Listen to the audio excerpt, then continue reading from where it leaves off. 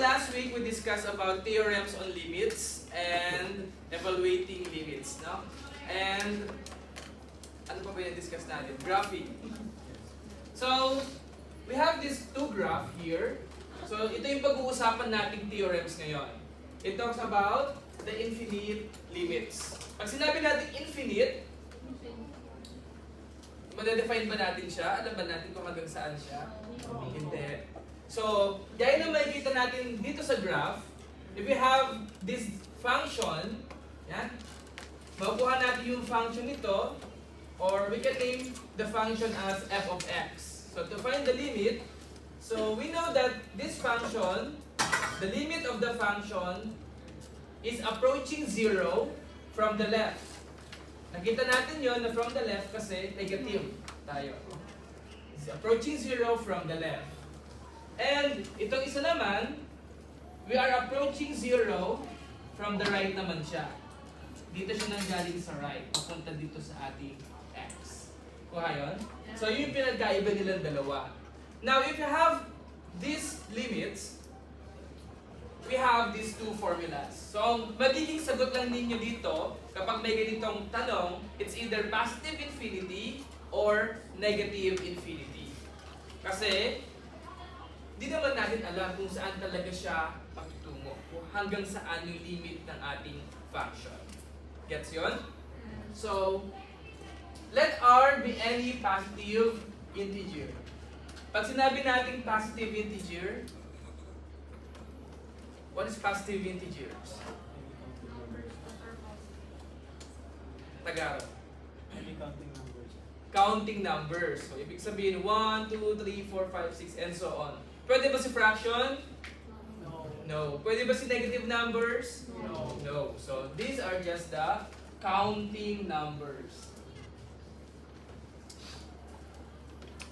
So, first theorem, the limit of 1 over x raised to r as x approaches 0 from the right is always positive infinity.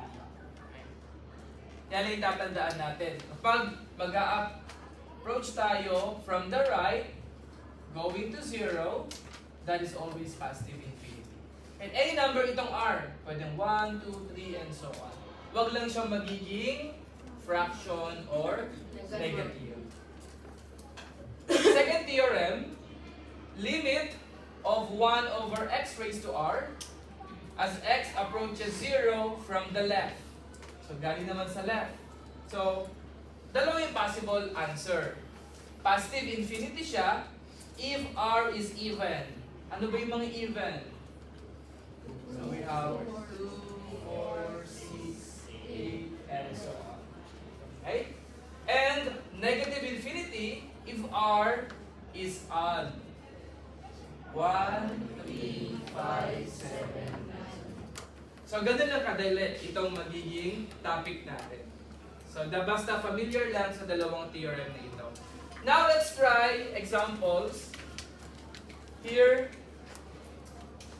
limit of 1 over x raised to 9 as x approaches 0 from the right.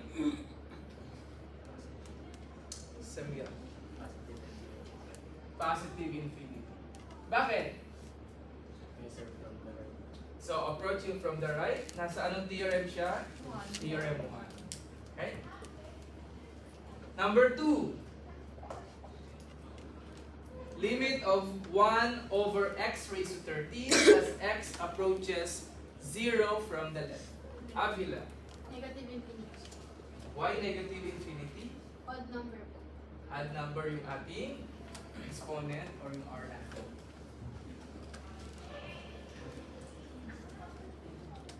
Number 3. Limit of 1 over x raised to 6 as x approaches 0 from the left.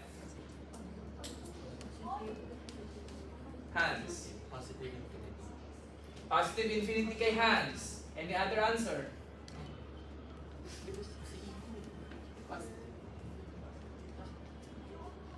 May kontra ba? Sure?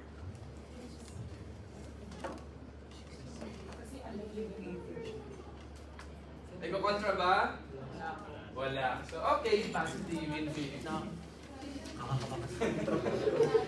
Yan, positive infinity. Kasi, although we are approaching from the left, tignan natin yung ating exponent, yung r natin, that is even number, so we have positive infinity. How about number 4? Limit of 1 over x raised to 46 as x approaches 0 from the right. Positive infinity. Nakalimutan ko ang. Mabignay. Next, number five. Brillantes. Ah, si Brillantes. Sa pinya. 20 ko. Positive infinity. Positive infinity. Why positive infinity? Even number pala. Even number yung ating. One Okay? And last one.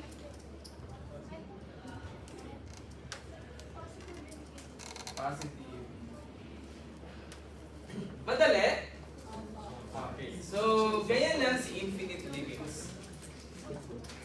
Kapehin mo lang yung sagot. Okay, stop writing. Everyone eyes on the board. Ah, May ano ulit kopya. Okay. So, in our previous lesson, theorems on limits. Kapag nakakita tayo ng ganito, di ba we have how many theorems? Eight. Eight. Pang nine yung polynomial. Na yung pinaka-shortcut, you're just going to substitute. Kapag sinubstitute natin itong nakikita natin example dito sa number 1, so magiging 0 si denominator. Tapos ang sagot ninyo last week ay D and E. Okay, D and E or does not exist. May mga sagot tayong ganon. Nagiging does not exist siya kasi hindi natin ma-define kung hanggang saan ba yung limit. Tama?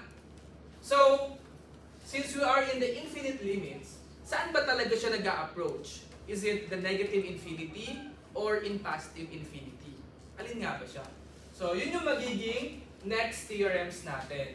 So, although kapag pinotomat natin ito, to verify your solution, ang lalabas dun, syntax or wala.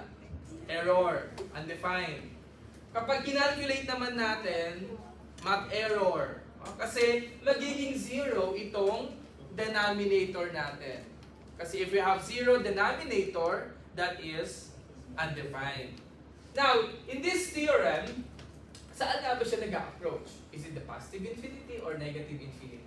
So, medyo critical yung mga theorem, pero summarize natin siya. If we have limit of f of x over g of x as x approaches any number that is equal to positive infinity if c or the constant is equal to 0 and g of x approaches 0 from the right. Or if c is less than 0 and g of x approaches 0 from the left. May naintindihan ba tayo? Meron wala? Okay. Sinasabi lang niya, kapag sinubstitute na daw natin, sinubstitute na natin, yung approaching natin, approaching number, alam naman natin na mag-zero ang denominator. Pero ang titignan natin ay yung sign. Kapag ang sign daw natin ay positive sa numerator, at nag approach tayo sa positive, that is equal to positive infinity. Okay? So, kasi pala silang positive. Same sign sila. At yung ito isa, kapag negative daw yung sign ng ating numerator, at nag approach tayo coming from the left or negative, still positive infinity ang sagot. Okay? Pero pag magkaiba, siya itong theorem number 2, positive yung sign mo sa numerator, then approaching from the left, magiging negative infinity na siya. Okay, para mas maintindihan, let's apply in our example number 1. So, substitute natin. We have here 3. So, magiging 2 times 3 plus 1 over ito ay magiging 3 minus 3. Magiging 0 talaga siya. 2 times 3, 6 plus 1, 7 over 0. Ayan, undefined siya. Pero, approaching nga siya from the positive or negative infinity? Check the sign. Anong sign ni 7? Positive. Positive. Ano yung approaching natin? Positive. Positive din. So, parehas. Positive, positive, that is equal to Positive. positive.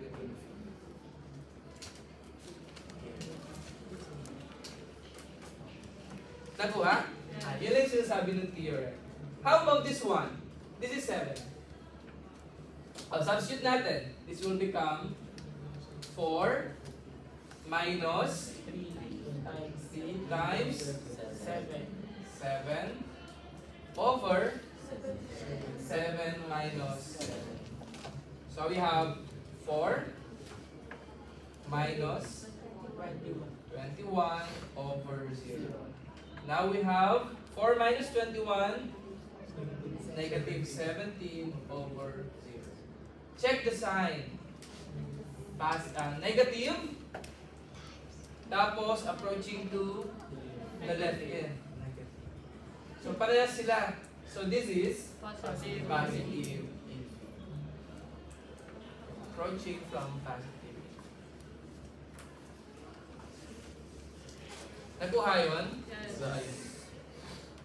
How about this one? Paano na to? So, paano nga ba? So, pwede muna natin gawin, separate natin silang dalawa. So, distribute natin itong limit natin. This will become limit of 2 over 5 plus x. As x approaches negative 5 from the left, plus limit of x minus 1 over x squared as x approaches negative 5 from the left. Yan. Then, substitute na natin ngayon. So, ito, magiging 2 over magiging 5 plus negative, negative 5. Plus, ito naman, negative 5 minus 1 over negative 5 squared. Simplify natin ito. This will become 2 over 0. Okay? Plus, ito naman, negative 6 over positive 20. So, alam natin ito ay undefined. Pero, hindi naman natin pwedeng sabihin undefined lahat na ng term.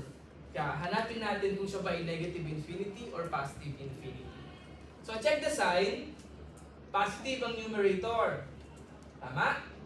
Approaching natin, negative. So, this is negative infinity. Bakit negative? Magkaiba.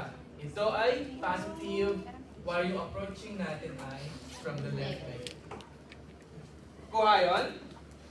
Plus negative 6 over 25. Negative times positive, this will become negative 6 over 25. If we subtract 6 over 25 from negative infinity, anong sagot natin? Still negative, Negative. infinity. Tanggalan mo ng 6 over 25 ang negative infinity. Dahil di natin alam yung value ng infinite na yon, still negative infinity. Okay? So, that's the infinite limit. Now, can you try number 4? Multiplication naman to. So, ang sagot lang natin dyan, either positive infinity or negative infinity.